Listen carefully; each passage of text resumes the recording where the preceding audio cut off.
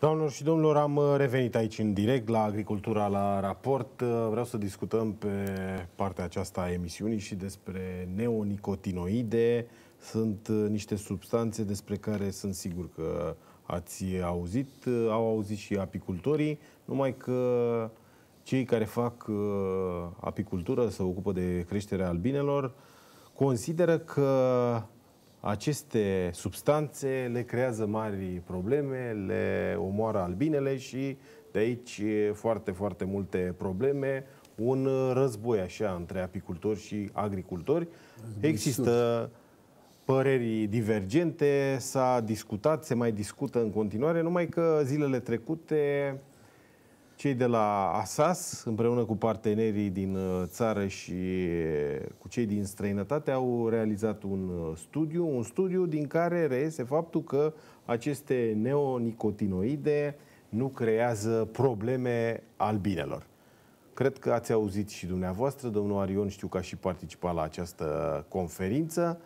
Domnul Popa, dumneavoastră, ce părere aveți? Nu știu dacă sunteți și apicultor, agricultor sunteți cu siguranță, dar aveți prin vecinătate pe acolo avem, avem. apicultori avem care probabil apicultori în zonă. v-au imputat fie dumneavoastră, fie altor fermieri faptul că folosiți neonicotinoide. Da, dar nici nu putem fără ele, pentru că dacă noi nu tratăm sămânța, deja ne, ne o mănâncă și nu deja noi suntem în pierdere. Dacă nu ne dea derogarea asta ca să putem să o tratăm în continuare. Nu se știe dacă vom obține pe viitor. Noi luptăm să, să obținem nu derogare, ci folosirea lor permanentă, pentru că o altă alternativă pentru fermieri nu există. Trebuie să stabilim de la început un lucru. Aceste substanțe se folosesc nu în vegetație, ci doar la tratamentul semințelor. Deci doar la tratamentul semințelor de rapiță, uh, semințele de floarea soarelui și de porum. Și porum. Uh, am urmărit foarte îndeaproape studiul celor de la SAS cu uh, institutele de cercetare din țară și cu stațiunile de cercetare.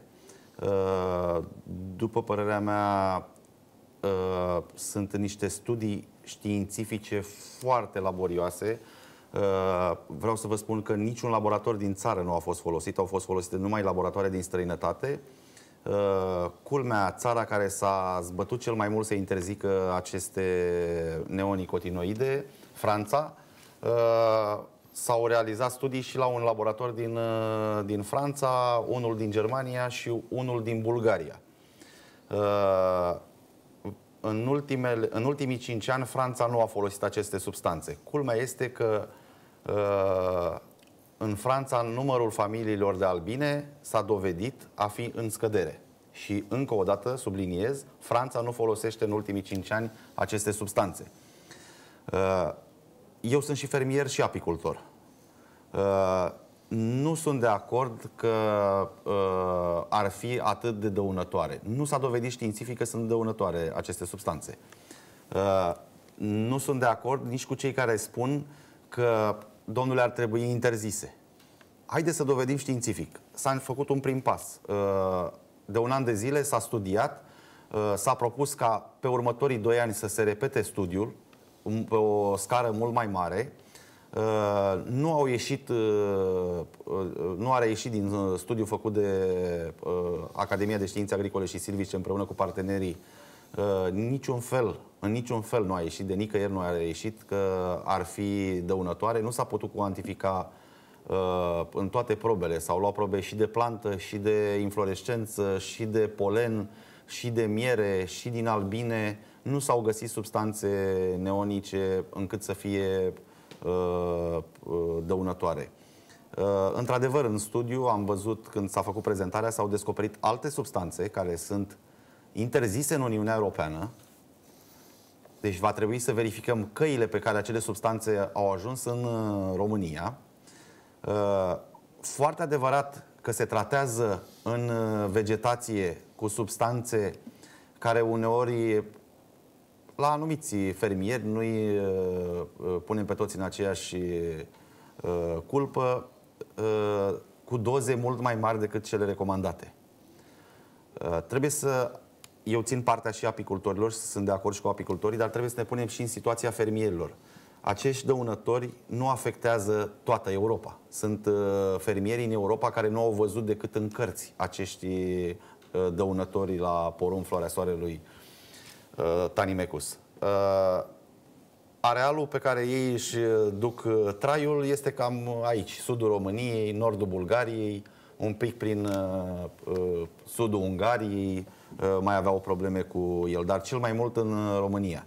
Nu există azi o alternativă la, aceste, la acești dăunători. Substanțele astea ne sunt uh, uh, benefice, nu putem renunța la ele. Dacă noi renunțăm la aceste substanțe, nu o să ne mai putem lăuda că suntem primii la porumb pe Europa sau primii la porumb pe floarea soarelui. Deși nici acolo nu sunt de acord că este chiar așa. Bun. Plecăm, să plecăm de la un adevăr și un adevăr care ne spune. Am început semănatul. Dacă vedeți câți de tanimecuri sunt în canalele, pentru că noi am văzut cu canale deschise și au rămas și ele s-au îmburienat, că nici, nici nu poți să dai focul, că te vede, vine mediul peste tine. Este una, un adevăr. Eu sunt de acord ce a spunea domnul Arân, că trebuie să permanentizăm. Nu mai trebuie să stăm așa totdeauna. O de... Ne-o da sau nu ne-o da? Ne-o da sau nu ne-o da? Și atunci trebuie, dacă, într-adevăr, dacă s-a făcut un studiu și e, se vede printr-un studiu și se demonstrează științific că nu se produc, va, e, va fi lupta aceasta, va fi, războiul acesta va fi surd între noi și apicultori foarte multă vreme de acum încolo.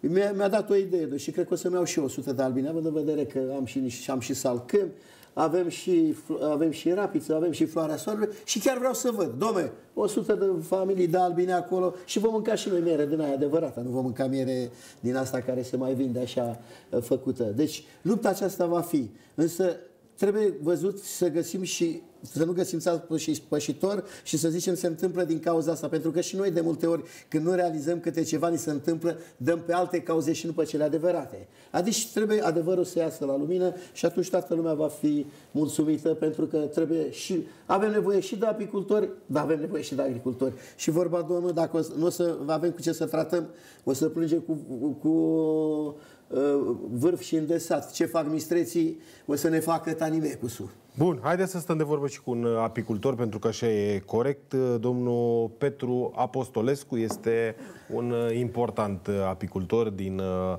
Câmpina. Bună seara! Bună seara! Bună seara tuturor invitațiilor dumneavoastră! Domnul Apostolescu, Uh, ne-am uh, cunoscut la Blaj, la sărbătoarea Mierii, la sfârșit de săptămână. Noi am uh, participat acolo, am fost, am filmat și printre altele știu că v-am provocat un pic la dialog vis-a-vis -vis de aceste neonicotinoide și aș vrea să știu și punctul dumneavoastră de vedere pentru că ați avut o poziție interesantă din perspectiva mea, dar aș vrea, ascultând acum ce au spus domnii Arion și domnul Angel, să vă aud și pe dumneavoastră și să îmi spuneți cum stau lucrurile din punctul de vedere al apicultorului. Noi înțelegem foarte bine necesitatea culturii mari și că fermierii au nevoie de tratament, dar în același timp situația din punctul de vedere al apicultorului este deosebit de gravă și tristă, pentru că mor albine în fiecare an am trăit chestiile astea, am prieteni care au pierdut albine foarte multe și interesant este că am participat la plaja această conferință BICOM care este uh, spre onoarea organizatorilor al Blaj în 2019 în România. Și doi din uh, colegii noștri francezi, chiar președintele Sindicatului Național al Apicultorilor din Franța și un expert al Asociației BitLife, au prezentat niște materiale care ne-au pus pe gânduri privitor la studiile pe care, care sunt făcute de, și finanțate de fermieri în general, că fermieri au marea, cea mai mare por, forță. Și au făcut o comparație între un studiu făcut pe 3000 de metri pătrați de cultură tratată cu neonicotinoide și un studiu făcut pe o cultură de 2000 de metri pătrați tratat cu neonicotinoide, surprinzător că rezultatele erau substanțial diferite. Dacă de pe 3000 de metri pătrați albina nu aduna decât polen contaminat, de pe 2000 de metri de pe 2 hectare, scuzați, 20.000 de metri pătrați, se întorcea și cu nectar contaminat. Eu aș pune problema și încerc să provoc așa pe colegii noștri din cultura mare, că suntem practic în, același, în aceeași barcă. Uh, vărsăm anual uh, probabil zeci de tone, sute de tone de o travă în agricultură, pentru că nu putem face altfel, dar ne imaginăm că noi oamenii suntem într-un acvariu, într-un glob de sticlă și pe noi nu ne afectează treaba asta. Ca apicultor constat că albina este afectată.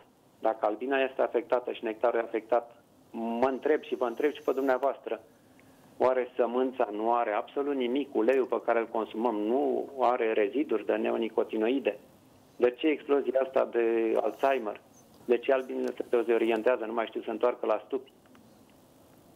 Uh, nu este, dovedit, nu este dovedit uh, sub nicio formă că în produsele alimentare obținute din, uh, din produsele noastre agricole ar nu exista reziduri sunt, de aceste substanțe. Sunt studii în ulei, în, în orice doriți lucrurile sunt, lucrurile sunt în desfășurare. Nu e, nu e nimeni deținător absolut, adevărului absolut. Dar am pus doar întrebarea. Nu am spus că este dovedit. Haideți să vorbim da. foarte mult pe dovezi științifice.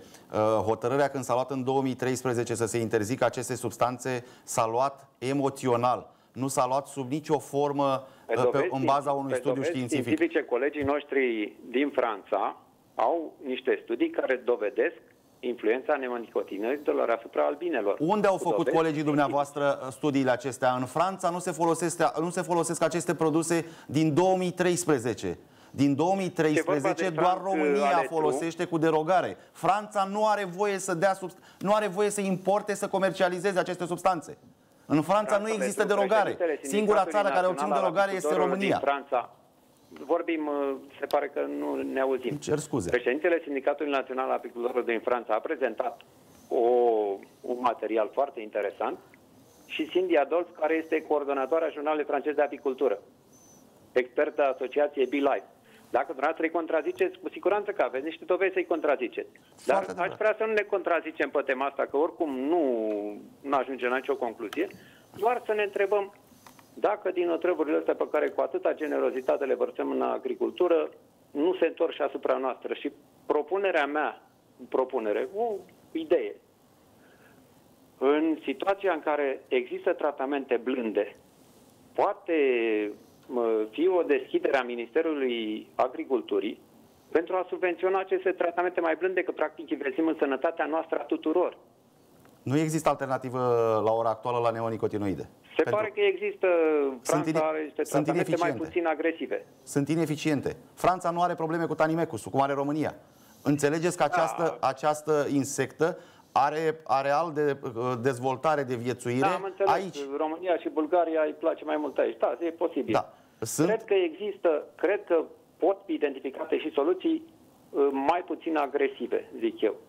Dar asta rămâne la eu nu știu de unde colegii dumneavoastră din Franța și același jurnalist care l-ați menționat mai devreme sau același jurnal al apicultorilor care l-ați menționat mai devreme a dat un comunicat anul trecut în august este scris în acea revistă, în, acel, în acea publicație, că La familiile de albine în ultimii 5 ani în Franța au, sunt în regres, sunt în scădere. Și Franța este o țară care nu folosește această substanță. Înțelegeți că această substanță este doar foarte puțin, pe, un, pe o perioadă foarte mică de timp uh, folosită în România, nu o folosesc fermierii, nu este la dispoziția fermierilor. Se tratează în stații specializate această sămânță. Nu fiecare fermier primește această substanță. Se comercializează totuși, foarte riguros. Și totuși, dincolo de, dincolo de uh, hai să zicem, studiile promovate de producătorii de sămânță, această substanță ajunge în nectar și de acolo mai departe, probabil. Din studiu asta ați trimis în Franța și în Germania la cel mai renumit? Că e agresivă doar până la 3-4 frunze, după care ea se diluează atât de mult încât nu ne afectează. Se pare că ne afectează. Iar colegii francezi au mers mai departe, au uh, fixat niște senzori de monitorizare pe albine, pe care le-au hrănit cu uh, neonicotinoide în doza în care ar fi apărut în nectar. Și au constatat că sunt influențate albinele atât neuronal, sunt modificări și la nivelul uh, inimii albinelor, acea inimă, să zicem, cu 5 camere, și la nivelul musculaturii albinelor. Din studiul care l-a făcut ASAS uh, și din prezentările dumnealor, eu nu am participat Da, la am studiu. văzut eu studiul sunt pe care l-a fermier făcut, și credeți-mă că noi toți fermieri ASAS. avem Cine nevoie de l-a albine. finanțat? Și Cine a toată finanțat omenirea are acest nevoie de studiu și- albine. Dar din Cine studiu a nu finanțat reiese că a, acest a studiu? existat Ce în concluzii miere, trebuia în să obțină? polen Nu știu. sau în produsele de, de stup.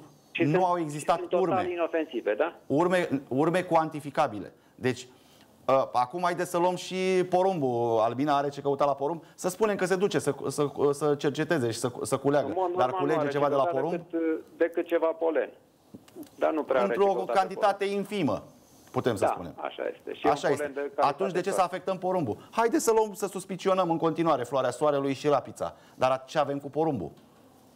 Nu, nu, nu m-am legat de porumb. M-am legat de această clasă de substanțe și doar, uh, repet, să ne punem întrebarea dacă Ne, nu ne veți da afectează dreptate peste 5, 7, 10 ani dacă noi vom suporta interzicerea acestor substanțe și când vom constata peste 5, 7, 10 ani că familiile de albine vor fi în regres în continuare, vom da vina tot pe neonicotinoide? Vom găsi alte produse? Probabil. Probabil că așa se va întâmpla. Ceea ce se întâmplă acum în Franța. Francezii nu Am, folosesc uh, aceste substanțe. Nu le folosesc. Am avut o deplasare la colegii noștri din Austria uh, cu doi ani în urmă, la președintele asociației dintr-un land din Austria, nu are rost acum să nominalizez, care ne-a spus uh, foarte frumos cât se tratau la noi substanțele, albinele erau afectate. După ce s-au interzis neonicotinoidele, albinelor noastre le merge mai bine.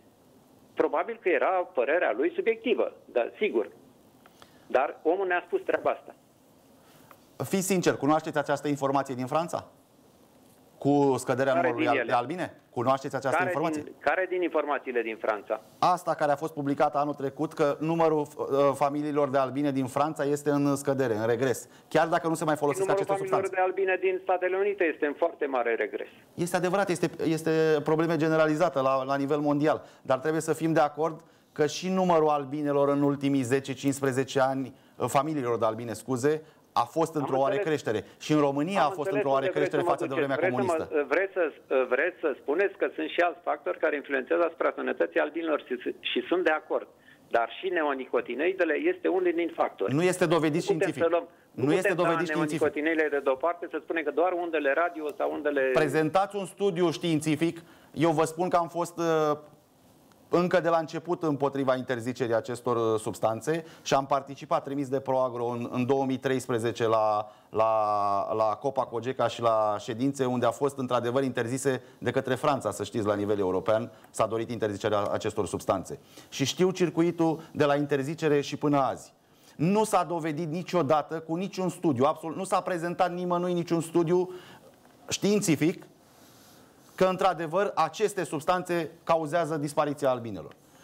Putem Surprinzător pune că multe noi- întrebări, este foarte adevărat și sunt de acord cu dumneavoastră, putem pune foarte multe întrebări, dar nu s-a dovedit nici azi științific că aceste substanțe într-adevăr cauzează albinelor. Eu sunt de acord cu orice studiu se prezintă, dar să fie științific. Și depinde de, de, ar trebui să fiți de acord că depinde foarte mult de rezultatul studiului de cine îl finanțează. Cine a finanțat studiul Asasului? Ministerul Agriculturii. Unde s-au dus probele de la studiu? În ce țări? Cine a dat rezultatele? Franța, Germania și Bulgaria, nu România. Dar într-o, într-un proces care l-am avut acum câțiva ani în fața Ministerului Agriculturii, în cadrul protestului ăsta, pe care Romapisul l-a avut atunci, am uh, depus la Ministerul Agriculturii o roabă întreagă cu studii privind efectul neoti- neonicotinoidelor.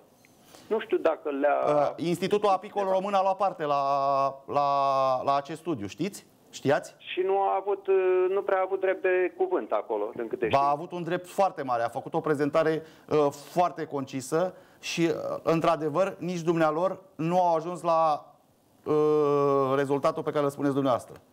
Adică și dânsii au, au, au concis că nu există uh, Vă încă referiți la- dovedit că uh, Vă, aceste rezult- substanțe... vă referiți la rezultatele pe care le-au prezentat colegii noștri din Franța? Nu, la rezultatele studiului făcut de ASAS și parteneri.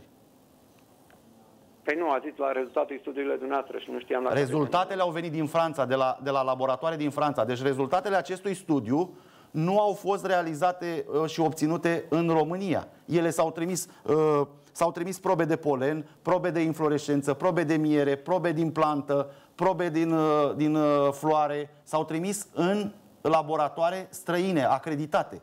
Deci nu a făcut România, a ajuns uh, la niște rezultate pe genunchi într-o instituție din România. Nu, s-au prezentat... Sigur, v-am, la... uh, v-am spus în prima parte a intervenției diferența între un studiu făcut pe 3000 de metri pătrați de cultură tratată și 2 hectare de cultură tratată. Rezultatele diferă sensibil sau esențial. În România s-au făcut pe Depinde- zeci de hectare. Depinde cine face rezultatele. Institute Cine de face cercetare. Dacă nu avem încredere în cercetare și în cercetători, că sunt independenți, Avem încredere în cercetare, avem încredere în cercetare și sperăm că își fac treaba. Bine, mulțumesc, uh, domnule Apostolescu. Mulțumesc și eu. Seară bună vă doresc. Aveam o Bine. întrebare, îmi put- tot pun o întrebare. De 25 de ani tot vin albinari. Din județul Vâlcea, din județul uh, Argeș. Prima întrebare, când mă sună la telefon, aveți floare? Da. Atenție, sămânța e tratată. Zice, nu e nicio problemă. Păi zic, în studii se spune că mor din cauza uh, tratamentul care face. Nu vă face nicio problemă. Ar mai veni oamenii aceștia ai, și fac cules serios. Dă-mi că sunt acolo pe tarlalele noastre și vedem la floarea soarelui. Bun, dar acum domnul Apostolescu nu mai e la telefon, dar vă întreb eu în locul, mă rog, nu, nu știu dacă e în regulă să mă pun în uh, situația apicultorilor. Oamenii ăștia ce motive ar avea până la urmă să invoce aceste neonicotinoide dacă n-ar avea, nu știu, urme măcar de adevăr, ca să nu zic uh, dreptate în uh, totalitate? Dacă- Explic, dacă- faceți-mă să, să înțeleg eu, da? Deci Cred- un apicultor, de ce ar da vina pe aceste neonicotinoide și nu ar căuta alți vinovați sau alte tratamente pentru albine încât să fie liniștiți și să credeți aibă că orice familiile... instituție din, din lumea asta uh, care răspunde de Există siguranța un alimentelor... sâmbure de adevăr legat de aceste neonicotinoide vis-a-vis de moartea albinelor? Revin și spun, chiar dacă mă repet, nu există dovedit științific. Orice autoritate care răspunde de alimente în lumea asta ar lua o măsură imediat. E vorba de aliment. Mierea este un aliment. Și de unde atunci? De unde planează umbra asta de Posibil suspiciune? că așa au crezut uh, dânsii, pentru că de acolo ar veni problema și unde au văzut că au Ați văzut ce au spus de mortăciuni cercetătorii și francezi care au făcut studii pe 3000 de metri, respectiv 20.000 de metri, da? Și au găsit inclusiv în hectar. Și eu am spus mai devreme că statul care a încercat să interzică aceste substanțe a fost Franța. Da? A, deci ar fi un interes al statului eu- francez. Deci eu mai am sau... răs- adineauri am spus o problemă. Deci dacă eu aș fi albinar și mi s-ar întâmpla să moară albinele, nu m-aș mai deplasa de la Vâlcea la Cărăraș.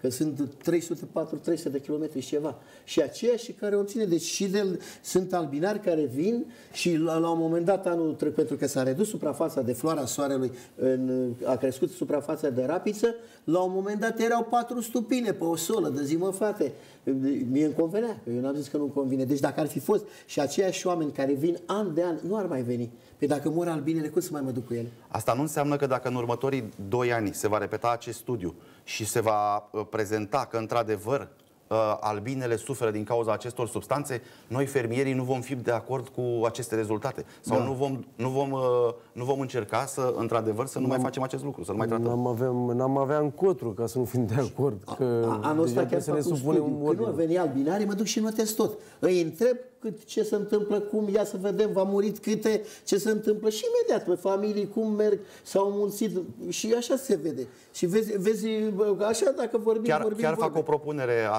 SAS-ului, dacă continuă acest uh, studiu, să ia prin sondaj de la fermieri, Exact. chiar și fără să-i anunțe, să ia plante și să le, să le analizeze. Și noi, fermierii, suntem de acord să punem la dispoziție Avem, terenurile sonele sunt noastre. la dispoziție să vină să ia Uh, timp. uh, Exact. acordăm tot sprijinul. Nu neapărat să spună cineva că au plătit fermierii acest studiu. A făcut foarte bine ministerul, a susținut cercetarea. A făcut foarte bine că a plătit acest studiu. Aveam nevoie de el. Și noi, și domnii care se ocupă de creșterea albinelor. Sunt tot fermieri și dumnealor. Bun. Au trecut cele două ore. Vă mulțumesc Când o să tare vină mult. albinare, o să vă invit pe noi să și filmați, să vorbim cu albinarii care vin, Da, să știți care că vin de 20 de ani acolo. să venim întrebați. și poate și, și-au, că mă- ar și am fi văzut un, că și-au uh, mărit, nu mai au subiect, uh, 200 de stupe, au 400 de stupe, au 350 de stupe. Înseamnă că e rentabil. Da. Păi e rentabil, e, Da. e meseria lor. E o meserie, un hobby, ca la noi, agricultura așa și la ei. Exact. E, Bun, mulțumesc tare mult. Mă bucur că ați fost în seara asta aici la Agricultura la raport. Le mulțumesc celor de acasă. Mâine seară, dacă e marți, vorbim despre accesarea fondurilor europene. Puteți să vă pregătiți întrebările încă de pe acum.